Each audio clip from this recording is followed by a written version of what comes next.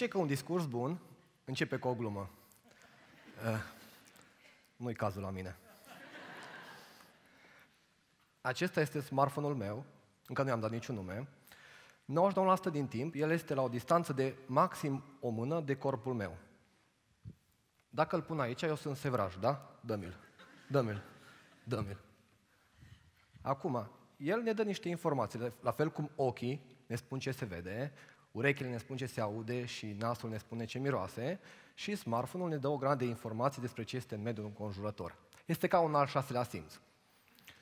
Conform unui studiu, Social Media Today, în medie, o persoană care are smartphone stă două ore pe social media. Știu că unii dintre voi o să spuneți, dar eu nu stau. Celălalt stă 8 ore. Media e tot la două ore, da?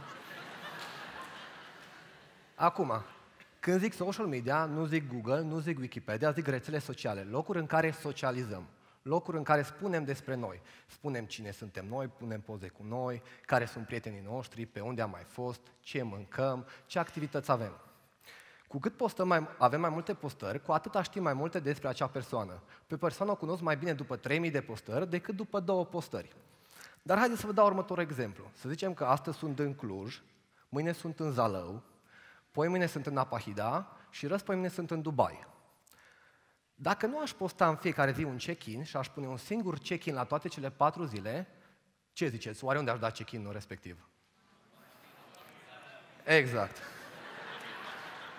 Dacă iau telefonul ăsta și îmi fac 30 de selfie-uri, pac, pac, pac, pac, pac, pac, pac, pac, și după iau telefonul și analizez.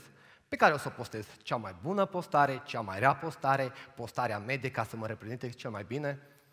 Luăm cea mai bună postare, băgăm niște umbre, băgăm un filtru, băgăm niște Photoshop, pac, online, da? Dacă, de exemplu, eu dimineața la mează mănânc paste cu creveți, iar seara mă duc și mănânc pireu acasă, da? Trebuie să pun o poză astăzi cu mâncarea. Punem pireu sau punem pastele cu creveți? Spre rușinea mea de român, am căutat și sunt doar 193 de hashtag-uri cu pireu.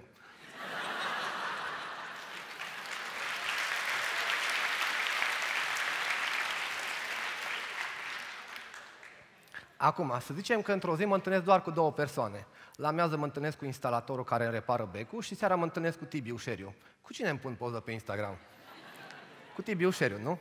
Corect. Acum, noi avem tendința asta să punem doar lucrurile bune. Încercați să vedeți de câte ori folosit hashtag-ul only good vibes, da? Doar de bine, da? Nimic rău, always smiling, totul e fericit, numai bine.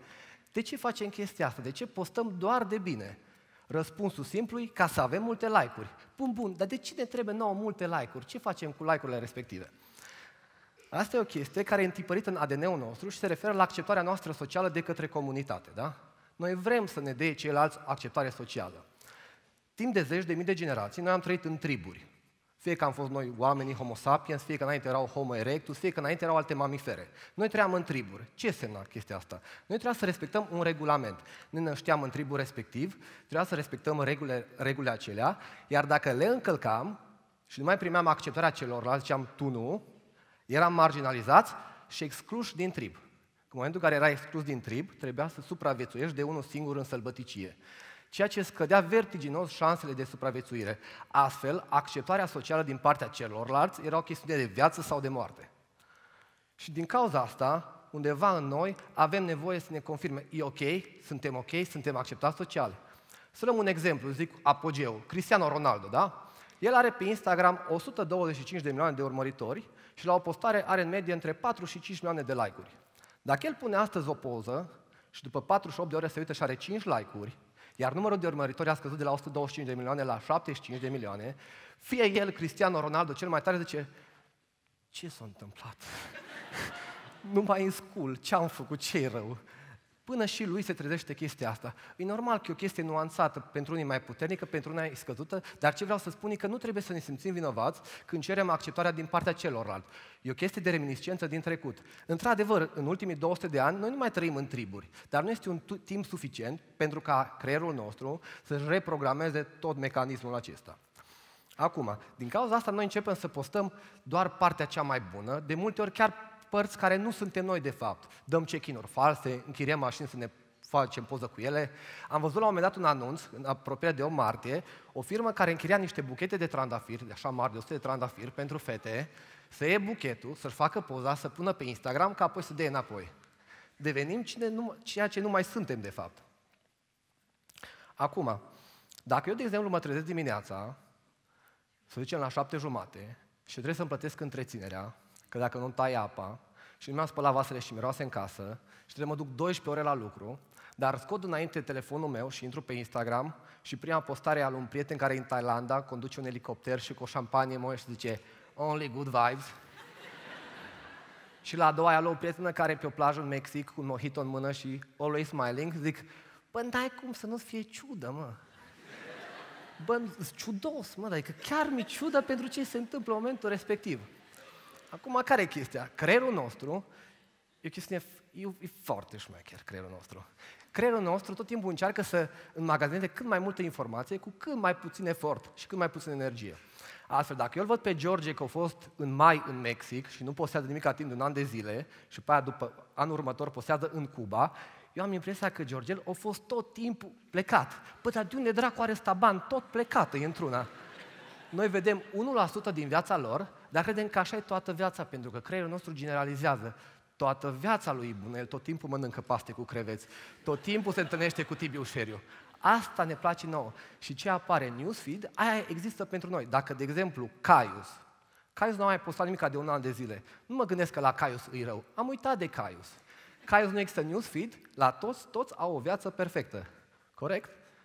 Bun, și atunci, de exemplu, mergeți pe stradă frumos și apare la voi un mexican și zice, dăm toți banii sau dame tolo dolos dineros sau așa. Îți ia banii și pleacă. Și după două săptămâni zice cineva, bă, vreau să mă duc în Mexic. Cum se parcă sunt mexicanii?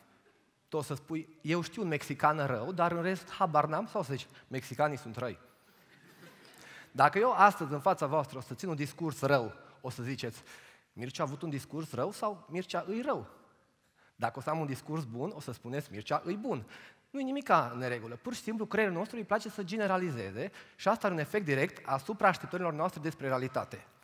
Având tot informațiile astea din feed-urile de Instagram și Facebook, noi ne așteptăm la un nivel de perfecțiune în viață, fericire maximă. Vreau să fiu tot în Thailanda, tot cu șampanie în față și tot cu paste cu creveți, da? Din păcate, viața nu e așa. Viața e duală, viața e formată și din bine și din rău. Niciun om nu-i construit genetic să fie mai bine sau să fie mai rău. Pentru că sunt firi adaptive. Dacă ne-ar fi tot timpul bine, aia ne-ar deveni stare naturală și n-ar mai fi bine, ar fi mediu. Avem nevoie de rău ca să ne dăm seama de bine. Dacă, de exemplu, eu acum sunt pantaloni scurți și ador că e vara afară, că pot sta la ora 12 în parc să bată briza și să mă bucur de vreme. Dar dacă nu îndoram șase ore, șase luni, în izmene, cu căciulă pe cap, cu fâș, cu muci care încurg, timpul iernii, nu mai apreciam așa tare vara asta. Probabil cei din Los Angeles care au într-una vreme bună, nu pot să aprecie, aprecieze chestia asta. Să zicem că mergeți și vă plimbați pe stradă prin Cluj. E tare, nu-i tare? E ok. Dacă mergem și stăm o lună în Siria și stăm panicați că pică bomba pe noi, ai de cam și după aici și în Cluj și zici, mamă ce tare să ieși afară și să te plimbi pe stradă fără niciun stres, e super tare. Și din cauza asta viața e duală, avem nevoie de rău ca să putem aprecia binele. Și aici apare gap-ul. Aici apare gap între ce ne așteptăm noi, ce ni se prezintă pe social media, nu e nimeni rău intenționat, pur și simplu ăsta e cursul firesc, și viața reală. Aici ai așteptările, aici ai viața reală. Bun, și ce facem? începe viața și trebuie să postezi pe Instagram, nu? Despre asta e vorba. Ce să postez? Mă un pic că ne grăbim, că mai avem pe ceas așa. Și atunci...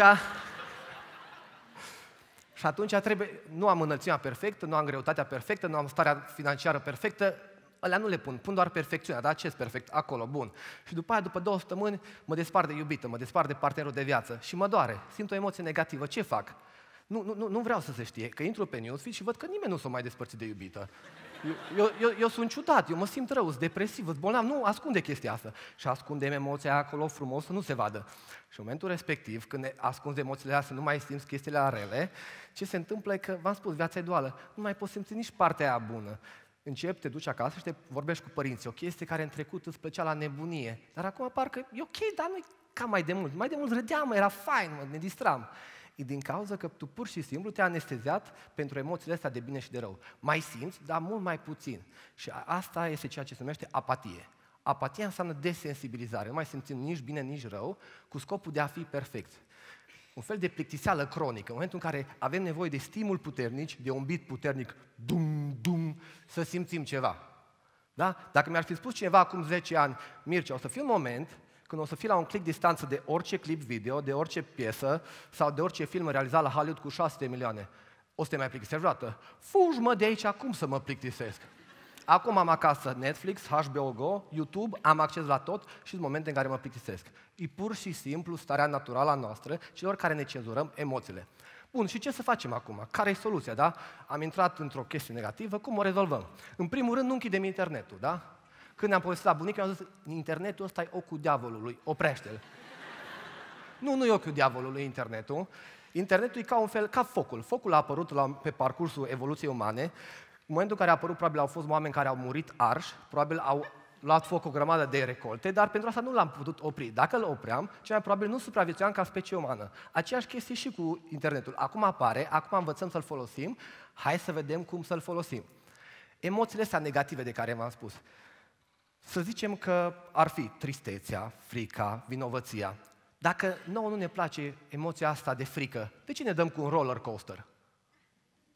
Ciudat, nu? Parcă ar trebui să nu le ferim de chestia asta. Dacă nu ne place emoția de tristețe, de ce ne uităm la un film de dragoste în care știm că suferă personajul principal, dar ne place nouă acolo fain frumos? Până la urmă, emoțiile astea negative nu sunt chiar neapărat negative îți plăcute și dacă știm să le digerăm, le putem savura. E ca o iarnă friguroasă de care te poți bucura. Pur și simplu, eticheta pe care am pus-o noi când am fost mici, a emoție bună și a emoție rea, ne face să avem o reticență spre chestia asta. Dacă le-am luat în piept și ne-am bucurat de ele, automat ar fi mai ușor să ne bucurăm și de chestiile pozitive. Spre final vreau să faceți o diferență între emoție și stare. O emoție de vinovăție e o chestie bună. Să zicem că mă duc și mă întâlnesc cu un prieten și eu sunt nesimțit cu el, mă comport urât. Ulterior, creierul și mintea mea îmi trimite informație. Mircea, te-ai comportat urât. Și pe mine mă deranjează. Pot să iau la cunoștință și data viitoare să fiu mai bun sau pot să le ignor, moment în care emoția de vinovăție se transformă într-o stare de vinovăție care o să-mi altereze toate aspectele vieții mele. Să fac o comparație. Asta e comparația mea perfectă. Gândiți-vă că corpul nostru e un frigider și emoția de vinovăție e un iaurt stricat, da? Tu ai un iaurt în frigider. În momentul în care se strică, el îți dă informații. Vezi că miros urât, vezi că stricat, aruncă-mă tu poți să-l iei fain frumos, să-l arunci și să păstrezi în continuare frigiderul perfect, sau poți să deschizi frigiderul, fu, ce miroase, închid frigiderul, după care, după două săptămâni, când deschizi, toate alimentele sunt alterate. Nu mai știi, e bună sau e rea. Aceeași chestie și cu emoțiile noastre negative neprocesate. Dacă nu procesăm emoțiile, ei devin o stare și ne afectează fiecare aspect al vieții noastre. Acum, nu pot să vă zic că dau o soluție, vreau doar să vă spun un singur lucru. În momentul de față, în lume există o grămadă de oameni perfecți. O grămadă de oameni cu statura perfectă, cu atitudine de James Bond, cu un discurs perfect care ce pe cu o glumă, totul perfect. Dar, în schimb, nu prea mai există oameni reali. Este o mare căutare și cerere de oameni reali. Oameni împiedicați, oameni bâlbâiți, oameni cu nasul strâmb, oameni imperfecți, oameni autentici și vulnerabili care sunt dispuși să se expună și să zică, bă, mă simt și rău. Și gândiți-vă că în momentul în care există oameni re- reali, aceea dau voie și celor din jur să fie real. În momentul în care eu mă plâng de o problemă de-a mea, păi uite, la chestia asta nu mă descurt, dai putere și celor din jur și permisiune ai voie să fiu imperfect, am și uitat că e voie să plâng sau să mă plâng de faptul că m-am despărțit de iubită. Mulțumesc!